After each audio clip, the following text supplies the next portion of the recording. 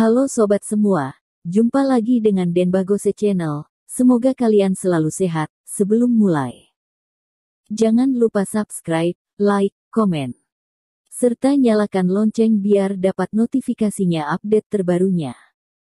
Bab 1833 Raja Rempah Kamu masih punya muka untuk meneleponku.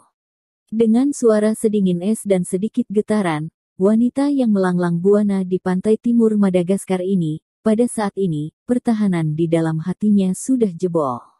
Umur 38 tahun, wanita lajang terkaya ke-9 di dunia versi Forbes. Raja Rempah Madagaskar, seluruh rempah jempor dan ekspor Madagaskar, hampir semua berada di tangannya, seorang wanita yang berdiri di atas dunia rempah. 20 tahun yang lalu, Namanya yang indah bergema di seberang selat, dan tidak ada yang tidak mengenalnya. Hari ini, nama silumantifnya bahkan membuat panik para bajak out di atas laut. Tidak ada yang tahu betapa kuatnya Tiffany, pokoknya, selama 20 tahun, putri yang telah mewarisi bisnis ayahnya itu telah menjatuhkan semua pesaingnya, dan berdiri tegak di Madagaskar, menjadi andalan pendukung produk domestik bruto menengah seluruh negeri.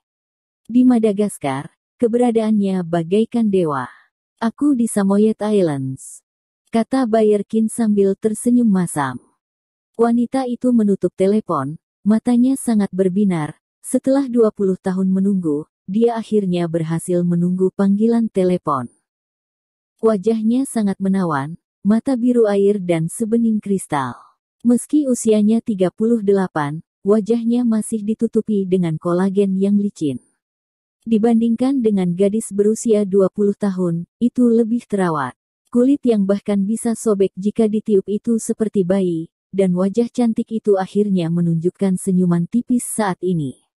Pelayan di sebelahnya bahkan lebih kaget. Dia telah melayani tuannya selama lebih dari 10 tahun, dan dia belum pernah melihat sisi yang begitu menyentuh.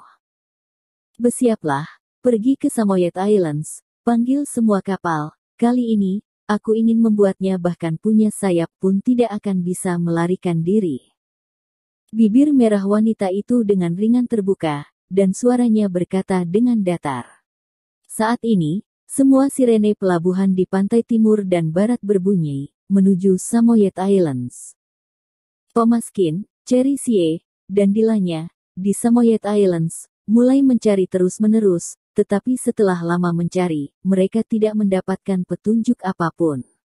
Meski orang-orang dari tiga bintang datang ke sini, juga pasti tidak akan membuat ramai. Semua orang tahu bahwa mereka akan berhati-hati dan diam-diam mencari teman mereka. Inilah yang membuat Thomas Kin sangat tertekan, tetapi juga tidak ada cara lain. Bahkan Dilanya pun hanya bisa menemukan sampai tempat ini, sedangkan untuk menjelajah lebih dalam hanya bisa mengandalkan Thomas Kin sendiri.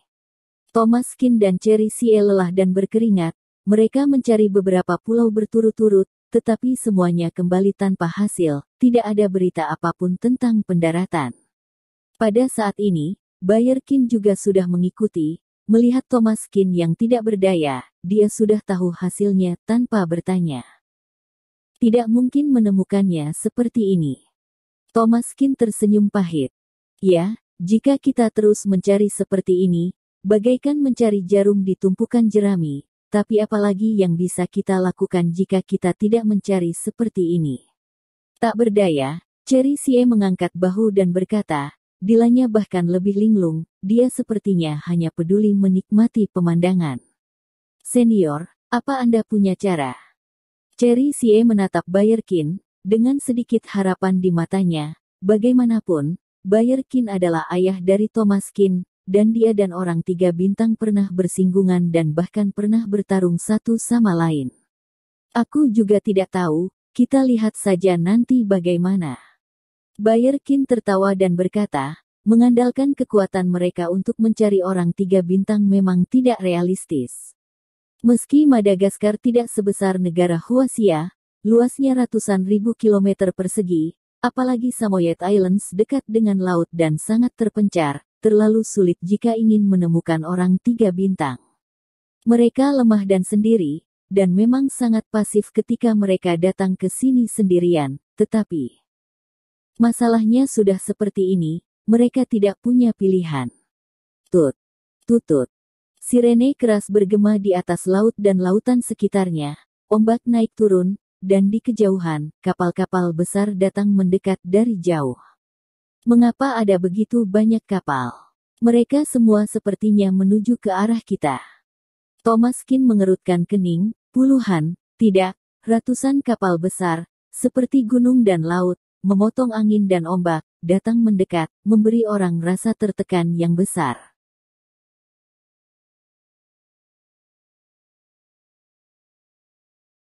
Bab 1834 hanya kerinduan yang paling merusak. Ya, sirene yang sangat kencang, apakah ini tidak terlalu banyak? Perkiraan konservatif, akan ada ratusan kapal besar. Bahkan Cherry Sie pun terkejut, dan ombak di sekitarnya menjadi semakin deras, seperti raksasa yang tak terhitung jumlahnya bergelombang.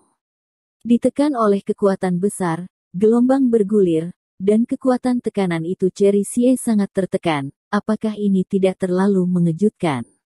Ada banyak kapal pesiar, kapal penumpang, kapal kargo, yah, kapal penumpang, dan kapal nelayan, datang dari segala arah dan mengelilingi seluruh Samoyed Islands. Jika dilihat, sungguh luar biasa. Tapi selain perahu kecil mereka, tidak ada orang di sekitar, jadi tekanan ini setara dengan langsung menekan badan mereka, mana bisa seperti ini. Ada apa? Begitu banyak perahu, apakah kita menyinggung seseorang? Atau kita membuat marah penduduk setempat karena telah melanggar aturan mereka? Thomas Kin berkata dengan suara yang berat, menghadapi kelompok dengan perasaan menindas mengerikan yang tiba-tiba ini, hatinya penuh dengan depresi. Orang-orang tiga bintang tidak ditemukan, sekarang mereka mungkin harus dikejar oleh penduduk setempat sampai tunggang langgang. Kapal pesiar dan kargo ini tak terhitung jumlahnya dan begitu mengancam, tidak seperti sedang bercanda.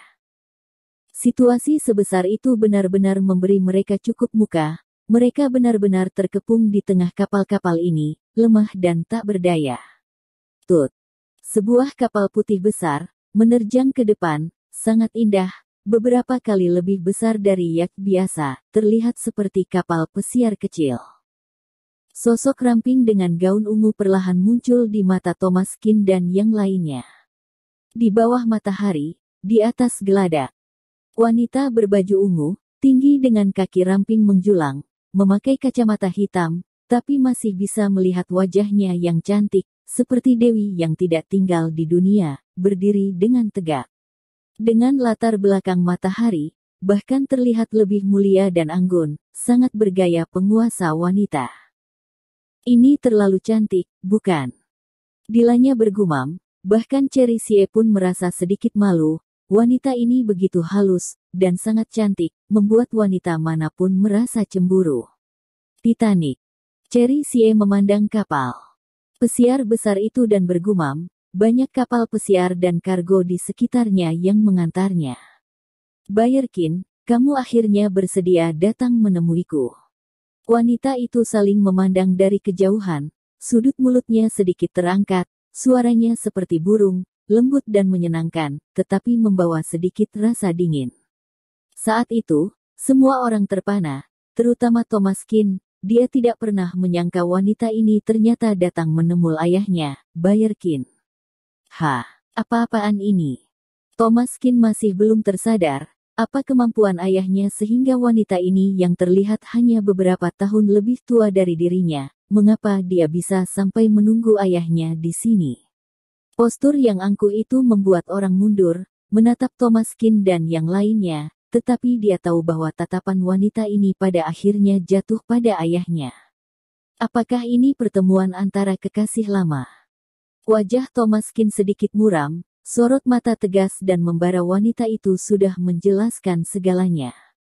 Di matanya, hanya ada ayahnya, wanita ini seperti serigala dan harimau, yang tampak akan menelan ayahnya, Tiffany, lama tidak bertemu, L.